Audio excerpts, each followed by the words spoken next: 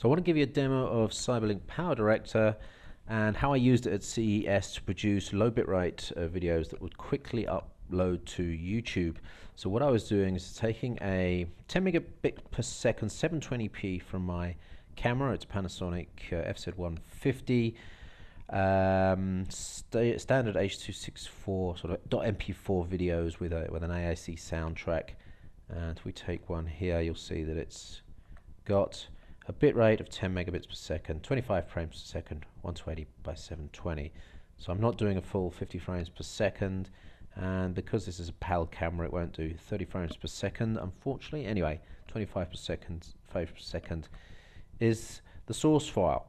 So let me quickly show you how I put these together. We took a header, pre-prepared, and we just segment those together very easily, very quickly and we're not doing any and I want to give you this tip actually on the Core i5 um, Core i5 i3 and i7s um, let's have a look. There's one thing I want to tell you that ah don't so don't enable HD video processing shadow file because it does a load of stuff in the background and in fact the hardware encoder and, and 3D processing power on this is enough enough that you don't need to do the shadow file on this. It speeds it up a lot. So anyway, we've got uh, three clips together. I got a couple of pre-prepared um, text segments that I just slot in there. Here's the lead in here. I'm going to double click that. Just edit the text on it. Um, CES test. Going to do a center, horizontal center on that. Save it and we're done. Now you won't be able to see the preview video up in this window here because the screen capture won't capture the overlay video unfortunately. One more thing uh, I want to show you is in the transitions section you can do a very quick apply fading transitions to all videos, do the overlap transition and all segments of that video will have an overlap fade on them which is really nice, just tidies it up.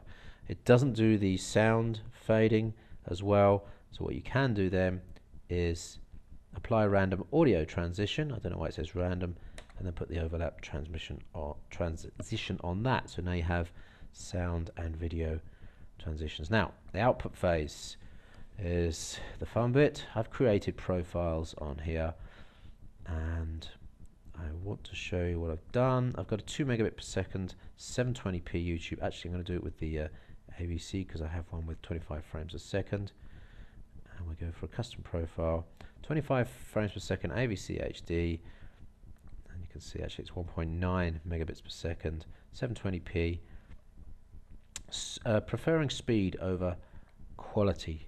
And the reason I do this is because when we do news uploads the speed of the network is usually pretty bad because everyone's trying to do it at the same time. So there's really no point trying to do a 10 megabit per second upload to YouTube. I know quality is very important, um, but why don't you reserve that, save that till later, put up a quick low quality version. You can always put up a higher quality version at a later date. Speed is important when you're covering tech news, so that's why I chose 2 megabits per second upload speed.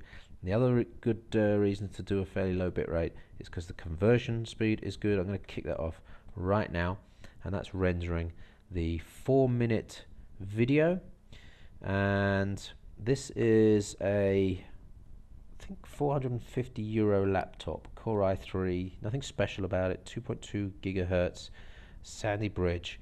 And because it's using the Intel QuickSync uh, video it's actually rendering at about 2x uh, real time. So we're going to be finishing this 4 minute, minute video render in about 2 minutes. I won't wait for that to completely um, render through. Also, we'll cancel that rendering now. And there you go. So there's the important things then. Get things uh, prepared on your projects. Get the fade in and the text um, pre-prepared. Drop them in.